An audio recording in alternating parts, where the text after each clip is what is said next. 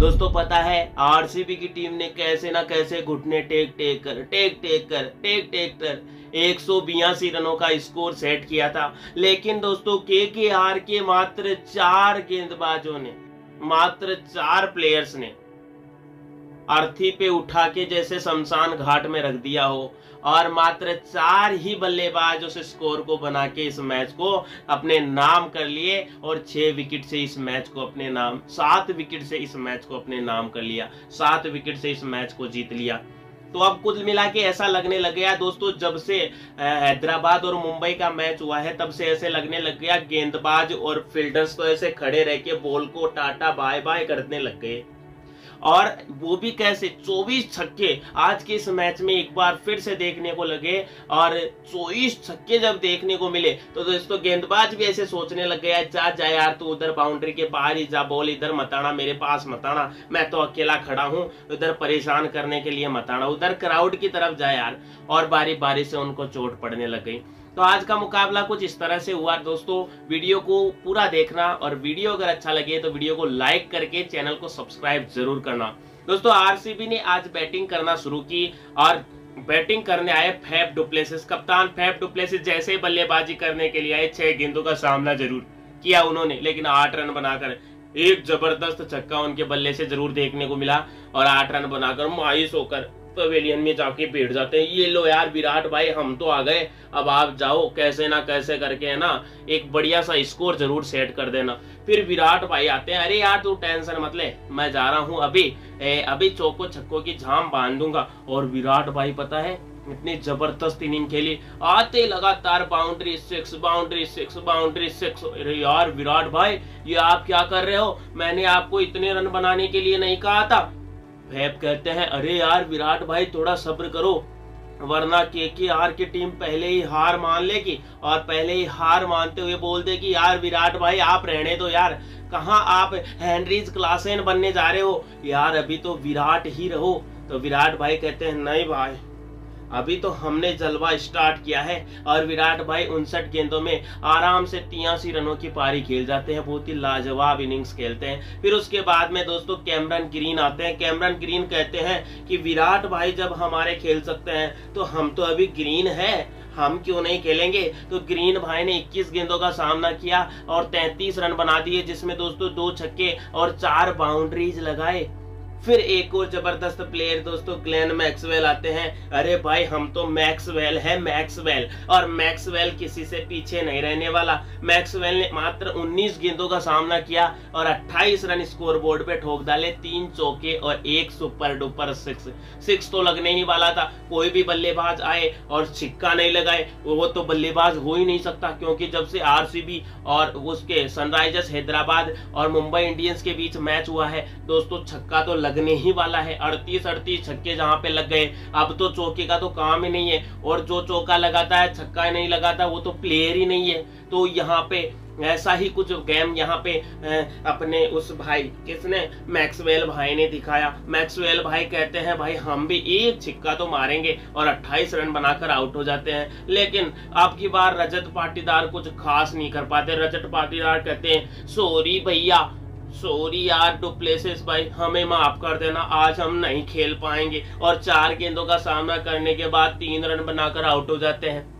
क्योंकि बनने तो आए थे यहाँ रियान पराग, लेकिन रियान पराग की पारी हर कोई नहीं खेल सकता। वो तो आउट हो गए। और फिर एक बार फिर से अनुज रावत भी आए थे, भाई, हम तो विकेट कीपर है।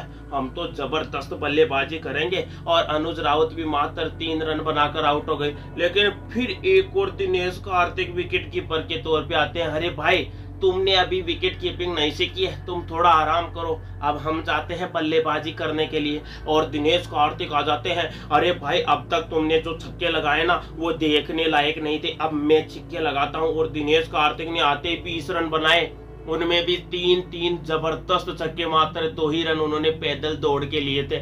और दिनेश कार्तिक की आती सी पारी के बदल आरसीबी का स्कोर एक रनों के पार चला जाता है। छह विकेट ज़रूर उन्होंने गवाए। अब एक रनों के स्कोर का पीछा करने के लिए कोलकाता नाइट राइडर्स के लिए सबसे पहले जाने माने खिलदर सुनील नारायण अपनी जादुई गेंद का करामाती जिस प्रकार दिखाते हैं, यहाँ भी बल्ले से उसी प्रकार जादू दिखाने आ गए और उन्होंने आते ही दोस्तों, आती सी पारी ऐसे ऐसे ऐसे ऐसे करके छक्के लगाना शुरू कर दिए और पाँच छक्के जड़ दिए।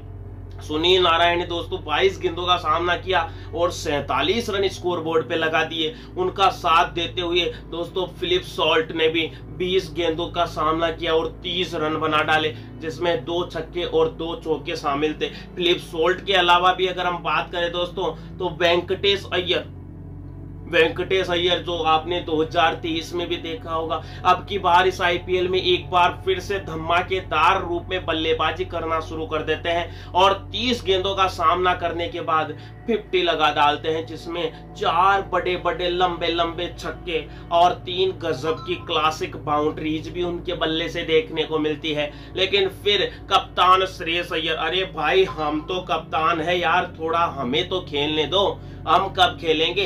कप्तान भाई, कप्तान भाई, आप ऐसा करो, मैं आ जाता हूँ। वेंकटेश भाई फ़ोन करते हैं, हेलो, श्रेयस भाई, यार ऐसा करो, मैं आ जाता हूँ, क्योंकि जीतने लायक तो टारगेट मैंने जो था, उसका पीछा करते हुए बराबरी पे ला दिया है। अब आप आ जाओ और अपनी कप्तानी पारी खेल जाओ। ठीक है यार, वेंकटेश भाई, मैं आ जाता हूँ, वरना मैं के के आर को क्या मुँह दिखाऊँगा? तो वेंकटेश भाई जल्दी से कहते हैं, लो लो, आ जाओ यार, मैं आउट होके आ रहा हूँ। अब आप आ जाओ। तो फिर श्रेयस भाई जाते हैं और 24 गेंदे में 24 गेंदों का सामना करने के बाद उनतालीस रन बना देते हैं, जिसमें दो ज़बरदस्त सुपर डुपर सिक्स और दो ज़बरदस्त क्लासिक बाउंड्रीज उनके बल्ले से देखने को मिलती है। तो अभी रिंकू सिंह भी बल्लेबाजी करने के लिए आते हैं और पाँच गेंदों में पाँच रन बना देते हैं। तो अभी लास्ट में श्रेयस भाई कहते हैं, अरे यार, रुको रुको।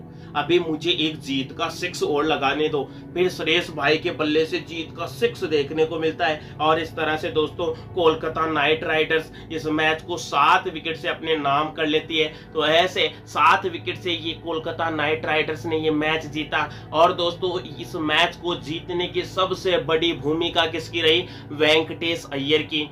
वहीं विराट कोहली का जो अर्धशतक था, वो पूरी तरह से फ्लॉप हो गया। विराट भाई विराट भाई हाँ मैं वेंकटेश बोल रहा हूँ, अय्यर बोल रहा हूँ, वेंकटेश अय्यर बोल रहा हूँ। अरे यार अय्यर भाई, आपने यार कमाल कर दिया यार। आपने आज मेरे शतक, अर्धशतक पे, है ना, जो नोटिस लिखवा दिया यार कि आपका एक बार फिर से जो अर्धशतक है, किसी काम नहीं आया। क्यों अब तक आरसीबी के, जितने भी अर्धशतक बनाए विराट कोहली ने आरसीबी के लिए, वो सारे के सारे विराट के अर्शतक नाकामयाब रहे। और आज एक बार फिर से वैसा ही अर्शतक जब जब विराट का अर्शतक बनता है, आरसीबी को वो मैच गंवाना ही पड़ता है। और आज कुछ वैसा ही हुआ। विराट ने ज़बरदस्त तियासी रनों की पारी खेली, लेकिन फिर से फ्लॉप। तो दोस्तों, वीडियो अगर आपको अच्छा लगा हो, वीडियो को लाइक ज़रूर करना।